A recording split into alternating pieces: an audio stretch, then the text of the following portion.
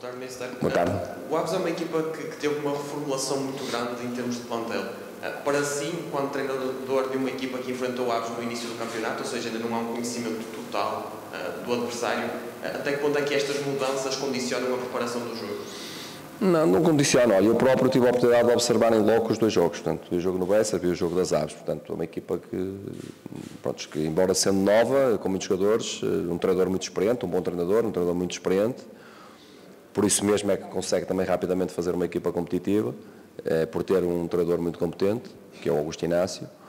É, mas hoje em dia nós não há muitos segredos, né? como, como deve perceber. Né? Nós, além das observações em loco, temos também as análises de vídeo, os jogos são televisionados, portanto não há, não há grandes segredos, não há grandes, digamos, aquilo que é mais importante é as equipas terem uma identidade e terem uma estratégia e, e, e que em cada jogo uh, seja, se manifeste mais a identidade que a estratégia. Portanto, em Famalicão, por exemplo, na primeira parte manifestou-se muito mais a estratégia do que, uh, do que a nossa identidade, por isso mesmo é que nós nos jogámos bem. E na segunda parte, e fundamentalmente a partir de uma determinada altura, eh, fez sobressair muito mais a nossa identidade do que a estratégia do jogo. Portanto, isso é aquilo que nós pretendemos que aconteça amanhã, que o lado da identidade seja mais forte do que, do que o lado estratégico. Isso significa que nós estamos a olhar para nós, significa que estamos a olhar para a nossa dinâmica e que acreditamos naquilo que conseguimos fazer.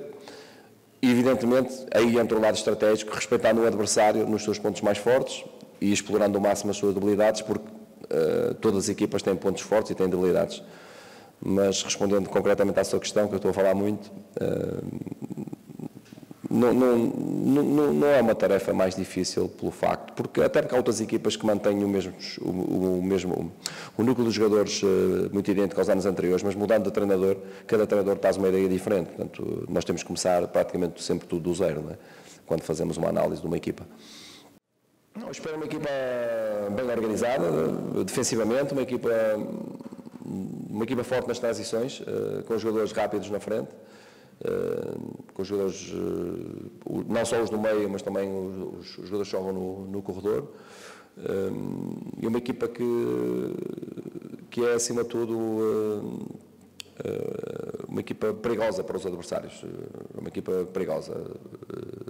Nós, como disse há pouco, estudámos bem a equipa do Aves, procurámos preparar-nos da melhor maneira e acho que estamos bem preparados para o jogo, estamos prontos para o jogo para as dificuldades que nos vão, nos vão criar. Nós sabemos que nos vão criar dificuldades, mas nós temos de ter uma, uma, uma, situação e temos essa consciência, que nós também somos uma equipa capaz de criar dificuldades a toda a gente. Portanto, isso uh, também temos, e, e, acima de tudo o que nós queremos, aquilo que eu disse há pouco, relativamente à nossa identidade e à estratégia, nós queremos que a nossa identidade seja mais forte do que os pontos estratégicos que tenhamos para o jogo. Isso significa que estamos a fazer o nosso jogo e que estamos uh, fortemente empenhados em criar uma dinâmica que eh, vamos ser positivos no jogo e ter, e ter a bola e ter, e ter a possibilidade de, de criar oportunidades e, e, evidentemente que isso é um ponto fundamental contra uma equipa que é forte em transições temos que estar muito, muito bem preparados para, para o momento em que perdemos a bola, porque isso é um, é um momento também importante no, no jogo, eh, para tentar recuperar eh, outra vez, como é óbvio. Né? E isso é um, é um dos aspectos que,